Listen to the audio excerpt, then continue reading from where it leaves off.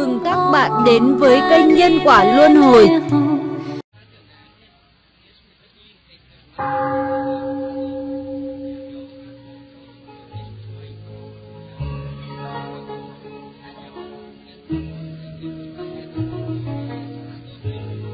Đà thiên thất phải khắc kỳ thủ chứng Cần chân thật dụng công tham thiền, có bản lĩnh thật sự thì mới đáng kể. Hôm nay là ngày đầu thiền thất, hy vọng quý vị nỗ lực tham thiền, chớ lãng phí cơ hội khai ngộ. Đà thất thì phải khắc kỳ thủ chứng, không thể ngồi trên thiền sàng mà khởi lên vọng tưởng. Như vậy thì chỉ cô phụ công việc tham thiền của mình mà thôi. Quý vị vọng tưởng điều gì? Vọng tưởng có nhiều thứ không giống nhau, nhưng tóm lại đều là những thứ vọng tưởng không có biên tế. Có người có vọng tưởng như vậy, kỳ này tới tham thiền thất, hy vọng sẽ khai ngộ, sẽ đắc đại trí huệ. Sau khi khai ngộ, nhất định tôi sẽ tuyên bố trước thế giới tin tức đặc biệt này, khiến toàn thế giới đều biết rằng tôi là người đã khai ngộ và để cho mọi người phải cung kính tôi. Quý vị hãy nghĩ xem, người có tư tưởng như vậy phải chăng là đã khai ngộ? Tôi dám chắc rằng tuyệt đối y chẳng khai ngộ. Tại sao vậy? Bởi vì mới ngồi lên thiền sàng mà vọng tưởng đã đầy dãy như thế. Nếu không vì cầu danh thì cũng là cầu lợi, vì danh lợi mà dụng công thì làm sao khai ngộ được. Có người lại có vọng tưởng như sau, kỳ thiền thất này ta nhất định sẽ khai ngộ, ta sẽ là người khai ngộ đầu tiên trong khóa thiền này. Kẻ khác không khai ngộ, chỉ có mình ta là độc nhất khai ngộ. Đó thật là một chuyện hết sức vinh quang vậy. Thậm chí có những kẻ không hiểu biết gì về khai ngộ, tự mình mạo xưng là khai ngộ, đi đâu cũng tuyên bố là mình đã khai ngộ rồi, lừa bịp đại chúng khiến họ phải cung kính. Đó là thứ ngư mộc hỗn châu, trợn mắt cá để người khác tưởng lầm là hạt ngọc. Những tư tưởng ấu trĩ như vậy thật là đáng buồn cười. Hy vọng quý vị đừng có những vọng tưởng đó, phải cước đạp thật địa. Nghĩa là chân phải đứng vững trên mặt đất dụng công tham thiền để có bản lĩnh chân thật thì đó mới là đáng kể. Có người thì có vọng tưởng như vậy, mình phải nhất định khai ngộ, khai ngộ rồi thì người ta mới đến cúng dường, có cúng dường thì lúc đó mới xây chùa lớn, là một vị pháp chủ, tín đồ mới lại thân cận cúng dường, và mình sẽ trở thành một vị đại pháp sư danh vang thiên hạ. Ai cũng biết mình là danh tiếng cao ngất. Quý vị phải biết những kẻ không học, không tài, không thuật, mà thọ sự cúng dường thì lương tâm làm sao an ổn được. Bây giờ nói về tư thế tọa thiền, mình cần phải ngồi cho đúng mới có ích lợi cho thân tâm, nếu không tọa thiền không có giá trị gì. Trong khi tọa thiền, trước hết phải để thân tâm mình tự nhiên nhẹ nhàng, không nên gấp rút khẩn trương. Tốt nhất là ngồi thế kiết già, đó là thế căn bản của pháp ngồi thiền. Thế kiết già phu tọa hoặc là thế kiết già là gì? Tức là chân trái để trên chân mặt, sau đó để chân mặt lên đùi trái. Đó là thế kim cang tọa, nghĩa là thế kiên cố bất động. Trong quá khứ chư Phật đã ngồi thế kim cang tọa mà thành Phật. Tư thế này có thể hàng phục thiên ma và chế chỉ ngoại đạo. Khi chúng thấy mình ngồi trong tư thế này thì chúng liền thối lui, không dám lại quấy phá. Sau khi đã ngồi kiết già rồi, mình phải nhìn vào chóp mũi, không được nhìn phía đông, cũng không được nhìn phía tây. Đó gọi là nhãn quán tỷ, tỷ quán khẩu, khẩu quán tâm, nghĩa là mắt nhìn mũi, mũi hướng về miệng, miệng hướng về tâm. Như vậy thì mình mới có thể nhất trì được thân tâm, đem tâm đang chạy loạn xạ đó mà định trụ lại, không cho nó chạy ra bên ngoài nữa. Khi được như vậy thì gọi là chuyên nhất tất linh, phân chi tất tệ, nghĩa là tâm chuyên nhất mới linh cảm, tâm phân tán thì bế tắc. Mình cần phải đoan nghiêm chính tọa, xương sống phải thẳng, đầu phải ngay, không cúi về trước cũng chẳng ngã ra sau, không nghiêng bên trái hoặc ngã bên phải. Mình phải ngồi như cái chuông lớn vững vàng không động đậy, đừng ngồi giống như cái chuông treo lắc qua bên đông lắc qua bên tây. Ngồi kết già là tư thế thích hợp nhất để tham thiền. Người sơ học sẽ cảm thấy không quen, nào là đau chân mỏi lưng, không nên coi đó là quan trọng. Mình cần phải cắn răng chịu đựng, nhẫn nại một thời gian lâu dài, thì tự nhiên hiện tượng đó không còn nữa. Đó gọi là cửu tọa hữu thiền, nghĩa là ngồi lâu tự nhiên sẽ có thiền, tự nhiên sẽ đắc được thiền vị. Thế nào gọi là thiền vị? Thiền vị tức là đắc được sự an lạc của thiền định, nếm được mùi vị khinh an nhẹ nhàng. Mùi vị đó thật là ảo diệu vô cùng, không thể dùng tâm tư, cũng không thể dùng ngôn ngữ diễn tả được. Cũng giống như người uống nước, tự họ mới biết nóng hay lạnh, mình cũng không thể dùng ý, dùng tâm mà hội được, không thể dùng ngôn ngữ mà truyền đạt, Quý vị muốn biết thiền vị đó ngọt hay đắng, thì phải nỗ lực tham thiền, tới được cảnh giới tương ưng thì tự nhiên sẽ hiểu được mùi vị đó. Cho nên quý vị phải tham thiền, tham tới lúc thủy lạc thạch xuất, nghĩa là nước cạn, thì đá sẽ lộ ra, lúc đó mình mới nếm được thiền vị. Thiền thì không thể nói được, cần phải tham, nên thiền tông thì không lập văn tự, không lập chữ nghĩa, là truyền thừa ở ngoài giáo điển, trực chỉ tâm của con người để mình thấy tánh, lập tức thành Phật. Người tham thiền khi tham đến chỗ hỏa hầu của mình đã đủ thì tuyệt đối không còn nổi giận nữa, không còn tranh luận với ai khác, tới chỗ gọi là vô tranh tam muội người. Lại cũng không cầu danh, cầu lợi, coi phú quý như giọt xương trên lá, công danh như bọt nước trên ngói. Trong khoảng khắc giọt xương hơi nước sẽ tan mất đi, người chân tránh tu hành thì xa lánh lợi danh, không vì danh lợi mà dao động tâm mình. Quý vị muốn trách nhiệm kẻ đó có chân chính tu hành hay không, thì coi tâm hắn có bị danh lợi làm dao động không. Nếu ý cầu danh không được thì nổi nóng, cầu lợi không xong thì tức giận, nổi phừng ngọn lửa vô minh, đánh dữ như cọp, hung tợn hơn ai hết, không cần hỏi mình cũng biết nhất định y là kẻ cầu danh lợi rồi. Đời nhà Thanh, Hoàng đế Càn Long có lần đi tới Kim Sơn Thiền Tự ở tỉnh Trấn Giang để thưởng ngoạn phong cảnh, nơi sông Trường Giang, Hoàng đế hỏi Pháp Thanh Thiền Sư rằng, trên dòng sông này một ngày có bao nhiêu con thuyền qua lại? Thiền sư đáp rằng chỉ có hai lần thuyền qua lại. Vua Càn Long không hiểu hỏi, ông làm sao mà biết được chỉ có hai lần thuyền qua lại? Thiền sư trả lời, một con thuyền gọi là danh, một con thuyền gọi là lợi. Do chuyện này, mình biết rằng những kẻ dùng thuyền qua sông, nếu không vì danh cũng vì lợi, nhưng họ không biết rằng kẻ cầu danh thì chết vì danh, kẻ cầu lợi thì chết vì lợi. Cuối cùng chỉ tay trắng tới gặp ông Diêm Vương, cho nên vạn bang đãi bất khứ, chỉ hữu nghiệp tùy thân. Nghĩa là mọi thứ nào đem được chỉ nghiệp là theo ngoài. Người tu đạo nếu không có lòng nóng giận, có thể nhẫn nhục, nại khổ thì dễ thành pháp khí, có thể ở trong Phật giáo là bậc lương đống, là bậc giường cột, có thể đem Phật giáo truyền bá sâu rộng. Người tu mà thường hay nổi nóng là người phá hoại Phật giáo, là kẻ làm hại tập thể. Phật giáo mới tới Tây Phương, tức là nước Mỹ, trồng xuống khoảnh đất thanh tịnh, hạt nhân bồ đề, hiện tại nảy mầm, bắt đầu manh nha. Hy vọng quý vị là những người làm vườn tốt, siêng năng, tưới nước, bón phân, khiến được tươi tốt, rồi tương lai cây cao lớn khai hoa và kết quả bồ đề. Những người ở trong vạn Phật Thánh Thành đối với nói chuyện nói năng cần phải chú ý, không được nói bừa bãi, không được tùy ý nói chuyện thị phi. Vạn Phật Thành là nơi thánh địa thanh tịnh để tu đạo, không thể có những ngôn ngữ của bảng môn tả đạo. Các vị cần biết rằng đối diện với vạn Phật thì làm sao mình có thể ăn nói loạn xạ được, quý vị phải nhớ lấy. Bệnh tùng khẩu nhập, hòa tùng khẩu sinh, nghĩa là bệnh do miệng mà vào, hòa cũng do miệng mà ra. Đây là câu danh ngôn rất trí lý, quý vị nói gì cũng phải suy nghĩ ba lần rồi mới nói, để tránh nói những điều sai với nhân quả. Lời nói ra rồi thì không những mình phải chịu trách nhiệm đối với pháp luật, mà còn chịu báo ứng đối với luật nhân quả nữa. Phật giáo là tôn giáo đề xướng tinh thần vô ngã, cho nên không chấp nhận chuyện bói toán, coi tử vi, phong thủy hay coi tướng số. Những chuyện đó đều đi ngược lại với Phật Pháp, cho nên mình phải cấm chỉ chuyện phổ biến nó. Nếu như quý vị tin vào những thứ tà pháp đó thì tự nhiên chấp nhận cái ngã của mình tồn tại. Tất cả là vì mình. Hễ có cái của mình thì mình luôn luôn tìm cách vì mình mà tính toán, vì mình mà chẳng vì người khác, như vậy thì không còn gì là Phật Pháp nữa. Phật Pháp thì dạy con người không tranh, không tham, không cầu, không ích kỷ, không tự lợi, không vọng ngữ.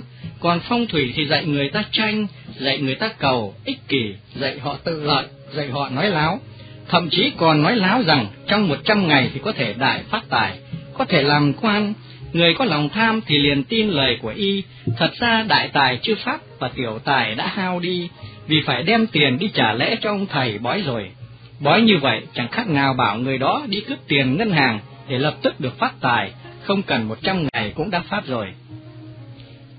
Lại nữa, nếu ông thầy bói biết chỗ nào có phong thủy tốt, có thể phát tài, có thể thăng quan tiến chức, thì tại sao bản thân y không dùng mà nói cho người khác biết, thật là vô lý.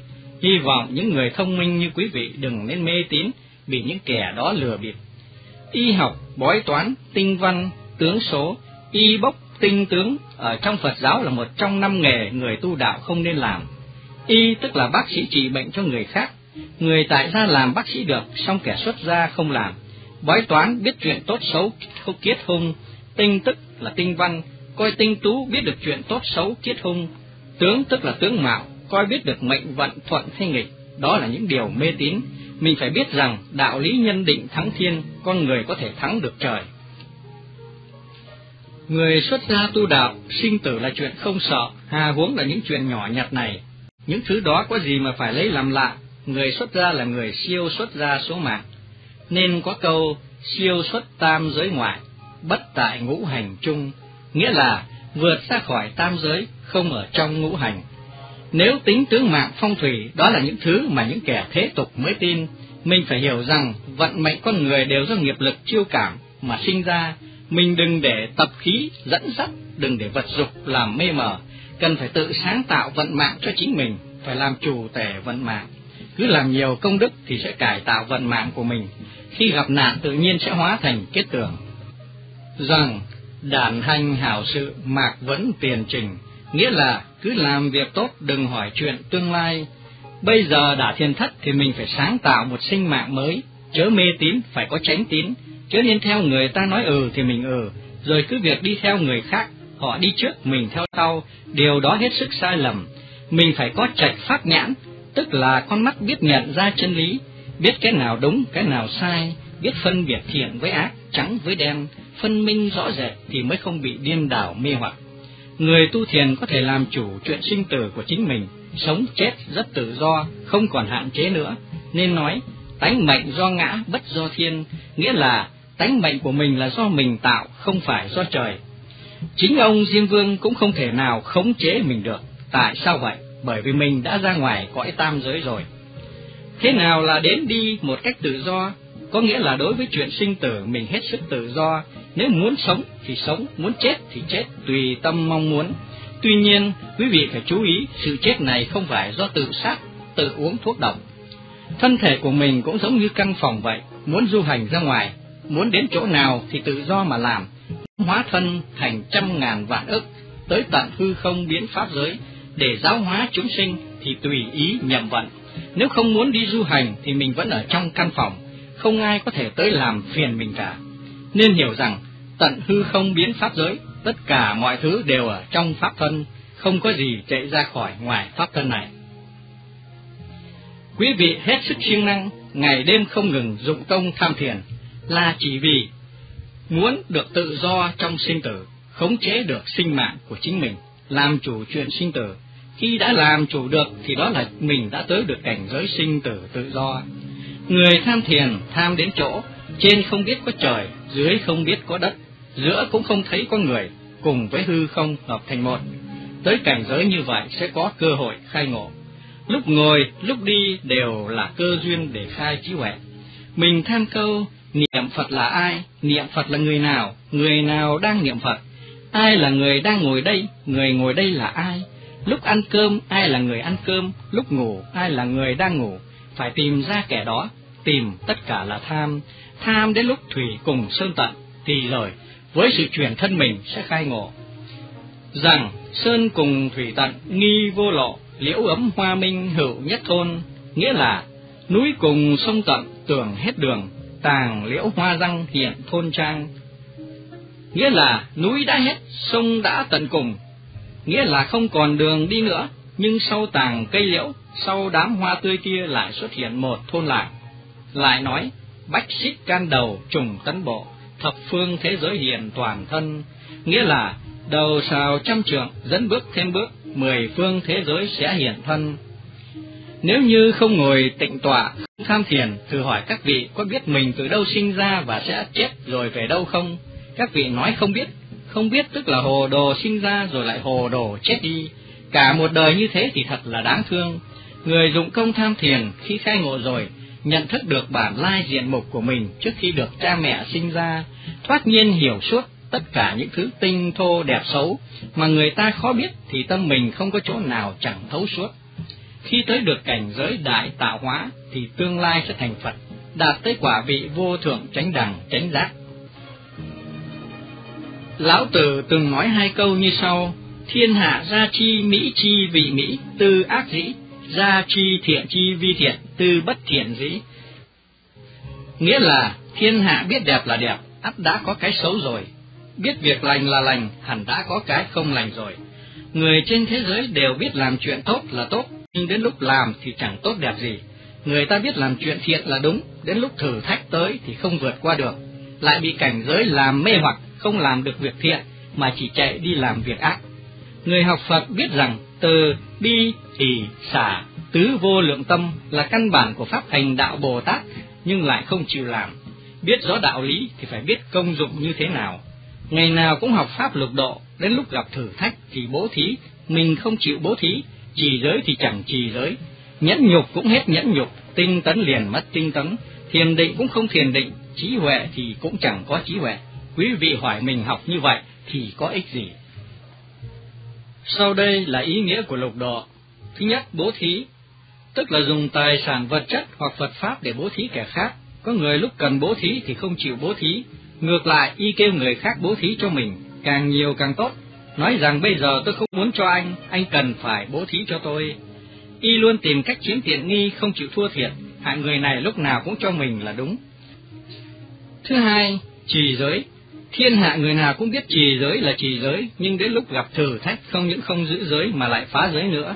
Thọ giới tức là không động tâm, bất luận cảnh giới nào đến mình cũng không động. Rằng Thái Sơn băng tiền tâm bất kinh, Mỹ sắc đăng tiền tâm bất động. Nghĩa là nếu núi Thái có sập trước mặt, lòng ta chẳng kinh hãi, Mỹ sắc trước mắt, lòng ta không sao xuyến. Đó là định lực có thể truyền được cảnh giới, bất kể là cảnh ác hay thiện, thuận hay nghịch, mình đều thản nhiên, không sinh tâm phân biệt thì tự nhiên gió yên sóng lặng. Thứ ba, nhẫn nhục, nghĩa là nhẫn thọ những gì không như ý. Nếu có thể nhẫn thọ tất cả những chuyện không đúng với ý mình, thì đó tức là mình chịu khảo nghiệm và chịu thử thách.